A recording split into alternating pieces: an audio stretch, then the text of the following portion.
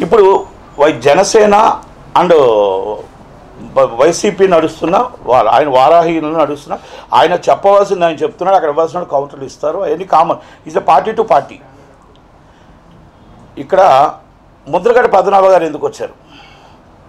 ముద్రగడ్డ పద్మనాభం గారు పవన్ కళ్యాణ్ గారిని టార్గెట్ చేసి ఎందుకు రావాల్సి వచ్చింది? ఎందుకంటే ఆయన కాపు ఉద్యమ నేత. ఆ ఒక కాపు వ్యక్తిగా ఆయన్ని అభిమానిస్తాం. ఆయన పోరాట సమితి చేసేటప్పుడు నా వయసు ఇరవై సంవత్సరాలు. నేను ఆయన దాంట్లో ఎక్తుపాటు విశాఖపట్నంలో చేశానా లేదా అనేది ఇప్పుడు గుడివాడ అమర్నాథ్ గారు ఫాదర్ గుడివాడ గురునాథరావు గారు అవ్వచ్చు ఈటీ విజయలక్ష్మి గారు అవ్వచ్చు అక్కడున్న మొత్తం టోటల్గా ఎవరైనా అవ్వచ్చు ఇప్పుడు ధర్మశ్రీ గారు అవ్వచ్చు ఎవరున్నా కూడా ఆ రోజు రాధారంగ మిత్రమండలి సిటీ ప్రెసిడెంట్గా నేను చేసిన పోరాట సమితి గారు కన్వీనర్గా మేము ఏం కార్యక్రమాలు చేసామో ఆయనతో పాటు నల్లా సూచంద్ర గారు తెలుసు అలాగే సర్దా స్వామినాయుడు గారు తెలుసు మొత్తం టోటల్గా నేను ఎందుకు అంటున్నానంటే మొత్తం టో అందరికీ కూడా ఆ రోజు కాపుల్ని బీసీలో చేర్చాలనేది మీరు మీరు ఉద్యమం తీసుకొస్తే మేము రావులపాలెం నుంచి విజయభాస్కర్ రెడ్డి గారి టైంలో నేత్రబాబు చంద్రరెడ్డి టైంలోని కూడా మేము ఎట్టి పరిస్థితుల్లో మీతో పాటు కాపుల్ని బీసీలో చేరుస్తారన్న ఒక నమ్మకంతో మీతో నడిచాం మీతో తిరిగాం. పిల్లలు యూత్ అందరూ కూడా ఎట్టి పరిస్థితుల్లో కుర్రలందరూ కూడా ఆ రోజు మా బీసీలకు ఏదో కాపులకు న్యాయం జరుగుతుంది అనుకున్నాం. కానీ ఆల్ ఆఫ్ ది సడన్ మీరు విజయభాస్కర్ రెడ్డి గారి దగ్గరికి వెళ్ళి కమిటీ వేశారని చెప్పేసి ఆ కమిటీని ఆ పుట్సాం కమిటీ వేశారు. కమిటీ వేసిన తర్వాత మీరు వెంటనే విత్డ్రా చేశారు. ఆ రోజు తర్వాత మళ్ళీ మాట్లాడలే. మళ్ళీ టీడీపీ ఎంపీ అయ్యారు. మన అంటే నేను ఉదాహరణకు మీకు చెప్తున్నాను. అలాగా అలాగా మనం ఎప్పుడైతే ఇది బీసీలో చేరుతాం మళ్ళీ ఒకసారి ఉద్యమం తీసుకొచ్చారు. ఆ ఉద్యమంలో ఏవి కూడా సక్సెస్ కాలేదు ఈరోజు కూడా మీరు కాపుల కోసం పోరాడుతున్నారంటే బాగానే బాగానే ఉంటుంది. కాపు చీఫ్ మినిస్టర్ ఎవరైనా కూడా స్వాగతించవలసిందే. కాపు పవన్ కళ్యాణ్ గారు అవుతారా చిరంజీవి గారు అవుతారా ఆ రోజు దాసనారాలు అవుతారు అనుకున్నాం చేయకుండా అరాంజావి అవుతారా మీరు అవుతారా? లేకపోతే తోట తిరుముద్ర గారు అవుతారా ఎవ్వరు అవుతారా?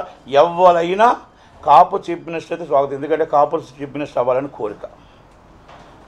దాంట్లో డౌట్ లేదండి. కానీ ఈ కాపు ఉద్యమానికి దోరపూడి చంద్రశేఖర రెడ్డి ఫ్యామిలీ వాళ్ళ తాతగారు ఇవన్నీ కూడా మీరు పెట్టారు ఆ దన్నుగా ఉన్నారని అన్నారు. అది మరి నాకు అది నిజంగా మరి అది మీరు ఇప్పుడు చెప్పారు అది నిజమా అబద్ధం మాకైతే తెలియదు కానీ ఆయన అభిమానం ఉండొచ్చు రంగా గారి అభిమానం ఉండొచ్చు ఆయన ఏమో సపోర్ట్ చేసి ఉండొచ్చు మనకి కాపుల మీద సానుభూతి ఉండొచ్చు. కానీ ఆ విధంగా మీరు ఆ ఉద్యమం వాళ్ళే నడిపారన్న విధంగా మీరు మాట్లాడడం అనేది కరెక్ట్ కాదనేది ముద్రగడ్డ పద్మనాభం గారికి మా వినపం రెండోది కాపు ఉద్యమ నేతగా మీరు పవన్ కళ్యాణ్ గారిని ఎందుకు వ్యతిరేకిస్తున్నారు? మీరు వైసీపీ నాయకుడిగా మాట్లాడండి. ప్రాబ్లం లేదు. కానీ కాపు ఉద్యమ నేతగా ఇష్యూ అక్కడ దోరపూడి చంద్రశేఖర్ రెడ్డి గారు పవన్ కళ్యాణ్ గారు జనసేన పార్టీ వైసీపీ పార్టీ నడుస్తున్నప్పుడు మీరెందుకు దాంట్లో నుంచి కాపు రెడ్డికి దీనికోసం ఎందుకు తీసుకొచ్చారనేది మా ఉద్దేశం. ఇది పూర్తిగా ఖండించవలసిన విషయం. ముందరగడ పద్మనాభ గారు అది మీ విజ్ఞతకు వదిలేసిన పెద్దలు. మీరు ఎందుకంటే పవన్ కళ్యాణ్ గారు ఈరోజు ఆయన తిరుగుతున్నారు ఆయన ప్రయత్నం చేస్తున్నాడు. ఎస్ సీఎం సీట్ కావాలా? సీఎం సీట్ అవుతాడు ఆయన. ముప్పై సీట్లు వస్తాయా? ముప్పై ఐదు వస్తాయా? ఈరోజు ఎలా ఆఫ్టర్ ఎలక్షన్స్ సీఎం ఆయన అవుతారా? ఇంకొకరు అవుతారా? ఎవరు అవుతారా అనేది మీరు ఇప్పుడు ఎవరి కాలు ఊహించుకుంటున్నారు. పార్టీలకు మీరు మాట్లాడుకోండి. ఆయన సీఎం అవరు చంద్రబాబు నాయుడు సీఎం చేస్తారు. ఏమండి? పార్టీలు ఎత్తుగడలు ఒక్కొక్కటి ఎత్తుగడలు ఉంటాయి. ఆ ఎత్తుగడలో ఆయన నేర్చుకున్నాడు. రెండు వేల తొమ్మిది వాళ్ళ నాన్న నాన్న గారు అన్నయ్య గారు దెబ్బతిన్నారు. రెండు వేల పద్నాలుగు ఆయన దెబ్బతిన్నాడు. పద్నాలుగు పంతొమ్మిది ఆయన దెబ్బతిన్నాడు కాబట్టి ఇప్పుడు ఆయన నేర్చుకొని ఆయన ఎత్తుగడలో ఆయన వెళ్తున్నాడు. ఆయన ప్రతిదీ కూడా బూత్ వైజ్గా ఓటింగ్కి వెళ్ళాలనుకుంటున్నాడు. నిజంగా కాపు నాయకుడిగా ఆయన సపోర్ట్ చేయండి. మీరు అప్పుడు నేను వైసీపీ వాళ్ళు వైసీపీ సపోర్ట్ చేస్తారు ఇక్కడ వాళ్ళు ఎక్కడ సపోర్ట్ చేస్తారు. అలా దాన్ని సపోర్ట్ చేయండి తప్ప వ్యతిరేకించడం అనేది కరెక్ట్ కాదనే ఉద్దేశం. ఓకే మీరు పార్టీ పార్టీలకు అయితే మాత్రం ఇప్పుడు అంబటి రాంబాబు గారు కౌంటర్ ఇచ్చారు. గురువాడ అమర్నాథ్ గారు కౌంటర్ ఇచ్చారు. దానికి మేము ఆన్సర్ చెప్పట్లే. ఎందుకంటే అక్కడ వైసీపీ తరపు నుంచి చెప్పారు. కాపు నాయకుడు కూడా చెప్పలే. వైసీపీ నాయకుడుగా ఆయన చెప్పారు. మీరు ఒక కాపు నాయకుడు అంటే అందరికీ కలిపి కాపు ఉద్యమ నేత మీరు. అంటే మేము అలాగే అనుకున్నాం. కనుక అలా మీరు చెప్పారనుకోండి అన్ని పార్టీల్లో కాపులు ఉన్నారు. బీ బీసీలు ఉన్నారు ఎస్సీలు ఉన్నారు. మీరు ఇప్పుడు కాపు పార్టీకి ఒక్కదానికే ఆయన మీరు ఆపాదిస్తున్నారు. ఆయన ఏమన్నాడు? నాకున్న అభిమానుల్లో కాపులు ఎస్సీలు ఎస్టీలు రెడ్లు కమ్మలు అందరు ఉన్నారు. నేను అందరూ అందరు వాడిని. నేను ఒక ఒక్కడి ఒక్కరి వాడిని చేయకండి అని అన్నారు. రెండు వేల తొమ్మిదిలో చిరంజీవి గారిని పెట్టిన బాల్తా కొట్టినట్టు ఆయన్ని కొట్టించుకోవడానికి అవ్వలేదు. అలాగా ఓన్ చేసి పక్క నుంచి ఓట్లన్నీ కూడా ఆయనకి రాకుండా చేశారు. కాపు నాయకుడు అని చెప్పేసి. కనుక పవన్ కళ్యాణ్ గారు వెళ్తున్న రూట్ కరెక్ట్. నేను ముద్రగడ్ పద్మనాభ గారిని ఒకటే అడుగుతున్నా. సార్ నైంటీ వన్ నుంచి మన ఉద్యమంలో మిమ్మల్ని నమ్మి తిరిగిన వాళ్ళందరికీ కూడా మిమ్మల్ని నమ్మారంటే మిమ్మల్ని నమ్మి తిరిగింది ఎందుకంటే బీసీలో చేర్చాలి. బీసీలో చేర్చాలని తిరిగారు కదా. ఒక్క రాజశేఖర రెడ్డి గారు తప్ప ఎవరైనా చేశారు? చంద్రబాబు నాయుడు గారు కానీ ఎవరు జగన్మోహన్ రెడ్డి గారు ఎవరో చేయలేదు సార్ కాపులకి? కాపులు చీఫ్ మినిస్టర్ అవ్వడంలో చిరకాల కోరిక. ఆ కోరికలో పవన్ కళ్యాణ్ గారు అవుతారంటే అభిమానిద్దాం. అవ్వలేదనుకుంటే ఇప్పుడు ఇప్పుడు ఏ నాయకుడు ఉన్నా ఒకటే.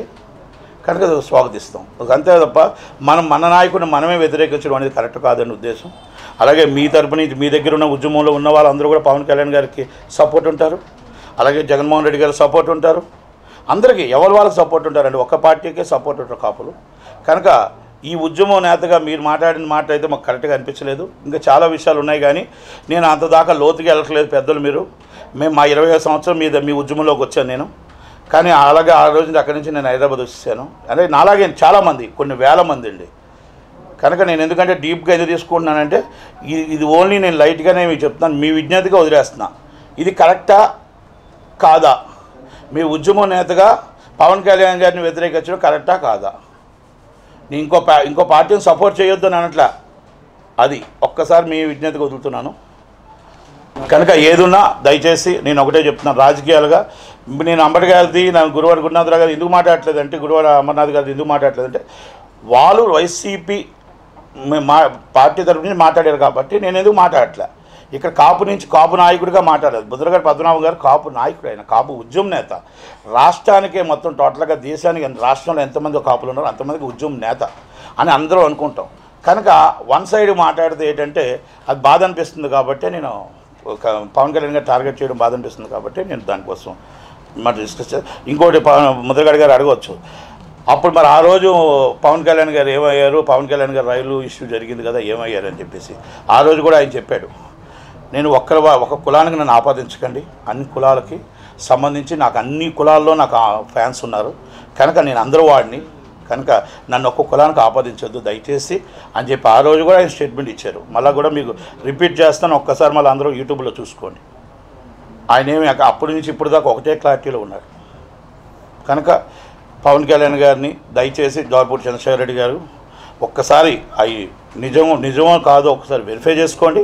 మీరు మళ్ళా దాని క్షమాపణ చెప్తారని నేను అనుకుంటున్నా. అది మీకు కూడా తెలియకుండా జరిగిందని అక్కడ లోకల్ ఫీడ్బ్యాక్ నుంచి వచ్చిందని అనుకుంటున్నా.